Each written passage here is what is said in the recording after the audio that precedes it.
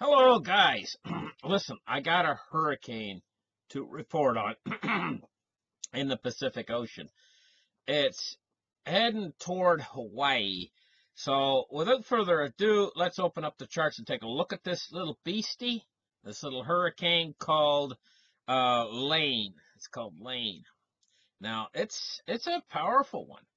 160 mile an hour sustained winds. So, it's a good thing that this thing is not heading directly for the main island. Now, if we go back uh, to 2014 here, there was a Hurricane Iselle, I S E L L E, and it was the strongest cyclone to actually make landfall in the Big Island of Hawaii uh, in, in, recorded history. Uh, it was a massive. Uh, let's see if we can get a picture of it actually here. Here, here it is, uh, a picture of Iselle back, and it wasn't that long ago either. Only in 2014. Uh, she was a beast, and uh, she come in and she actually hit uh, the main island of Hawaii. Now, what we're going to do is take a look at this hurricane. Um, where's my picture of it here? Uh, Lane. This is Lane. Now, she's just right now uh, south of the of of of of uh, of, of, of Hawaii. And uh, so this is what we're talking about here. And this is a look at the track, the forecast track of the storm. So uh, the storm is located at 14 degree, 14.7 degrees north, 154.5 degrees west. Maximum sustained winds of 160 miles an hour. It's moving toward the west northwest at 9 miles an hour. And the good news about this, if you can call it good news, is that the storm looks to me like it's going to take an, a, a, a westward trajectory, missing the main island, the big island. Uh, we see these dots in the center here showing it missing the, the big island by maybe, I don't know, uh, quite a little bit, maybe 50, 100 miles, you know.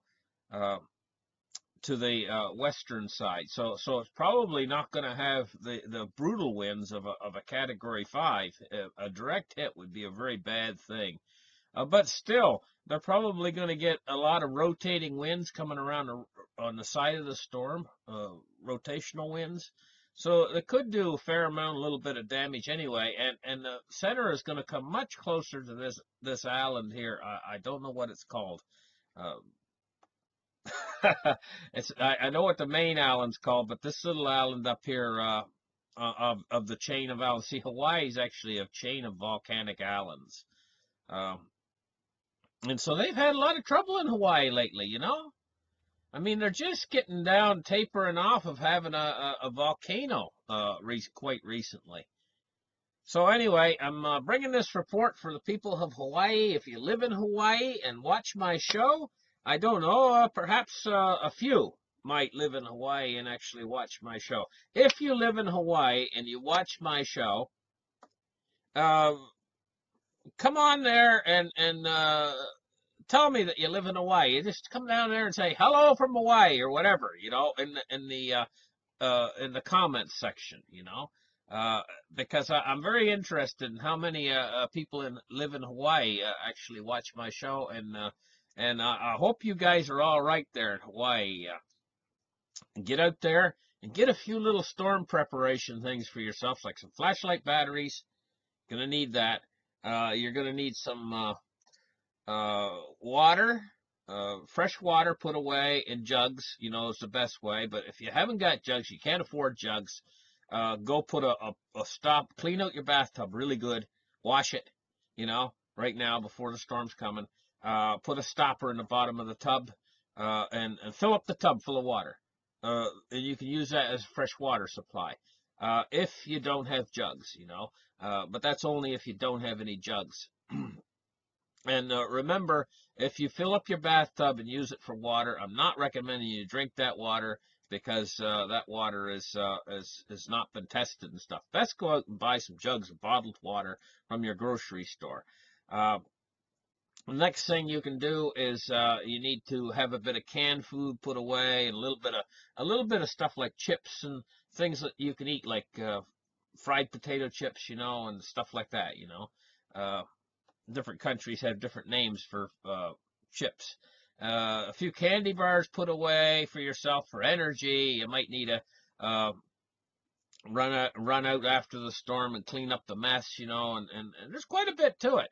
You know, board your windows up, and uh, if you're uh, especially ground floor windows, because flying debris can smash your glass out. If you can't afford to do that, uh, the next best thing is to, if you got a big like a big window and you can't afford to board it up, you can do like they did in World War II. Uh, you can put tape on it.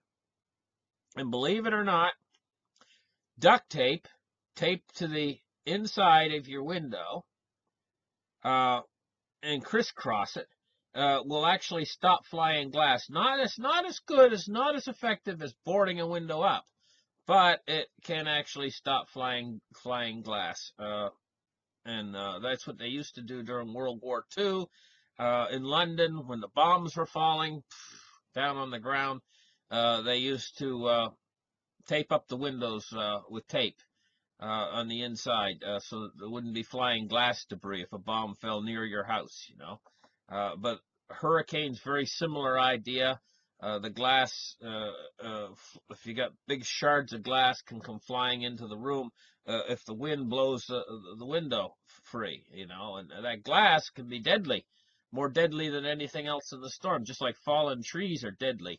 You know, uh, you don't get under any fallen any trees that are going to fall on you. They can kill you. Fallen trees are very deadly. Anyway, I've rambled on enough. Rambled rambled on enough we got a hurricane heading toward uh, the big, well, it's not heading directly toward the Big Island, but it is heading toward the Big Island. It looks like it's going to miss a direct hit uh, by a little bit. And thank you guys for listening. Like and subscribe, and we'll catch you in the next show. Bye bye for now.